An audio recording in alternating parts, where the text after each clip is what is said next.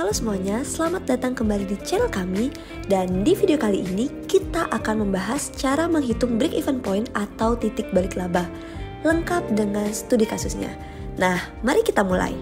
Break even point adalah titik di mana total pendapatan sama dengan total biaya.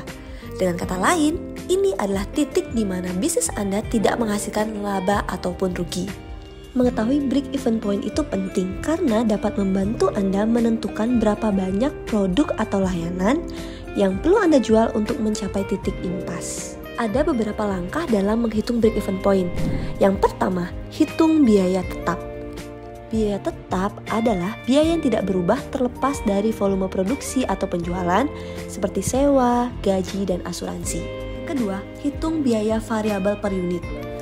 Biaya variabel adalah biaya yang berubah sebanding dengan volume produksi atau penjualan, seperti bahan baku dan biaya pengiriman. Yang ketiga, hitung harga jual per unit. Ini adalah harga yang Anda kenakan kepada pelanggan untuk setiap unit produk atau layanan. Yang keempat, gunakan rumus berikut untuk menghitung break even point dalam unit. Break even point dalam unit adalah biaya tetap dibagi dengan harga jual per unit dikurangi biaya variabel per unit. Sekarang, yuk kita lihat studi kasusnya.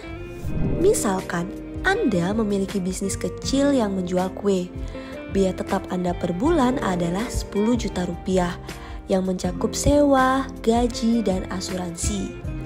Biaya variabel per kue adalah 20 ribu rupiah yang mencakup bahan baku dan biaya pengiriman. Anda menjual setiap kue dengan harga Rp50.000.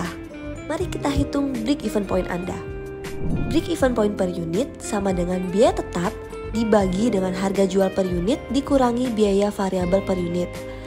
Break even point per unit jadinya 10 juta dibagi dengan 50.000 dikurangi 20.000 rupiah. Jadi break even point per unitnya adalah 333,33. Jadi, Anda perlu menjual sekitar 334 kue per bulan untuk mencapai titik impasnya. Dengan mengetahui break even point, Anda dapat membuat keputusan bisnis yang lebih baik. Misalnya, jika Anda merasa sulit untuk menjual 334 kue per bulan, Anda mungkin perlu meninjau strategi harga, biaya, atau pemasaran Anda. Anda juga dapat menggunakan break even point sebagai dasar untuk menetapkan target penjualan atau merencanakan ekspansi bisnis. Demikianlah cara menghitung break even point atau titik balik laba. Ini adalah alat yang sangat berguna untuk mengoptimalkan strategi bisnis Anda dan memastikan bahwa Anda mencapai keuntungan yang diharapkan. Jangan lupa bahwa setiap bisnis itu unik jadi, pastikan untuk menyesuaikan perhitungan dengan kondisi bisnis Anda sendiri.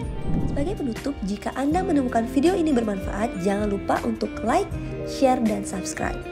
Kami akan berbagi lebih banyak tips bisnis dan keuangan dalam video-video berikutnya. Jadi, pastikan Anda tidak ketinggalan ya.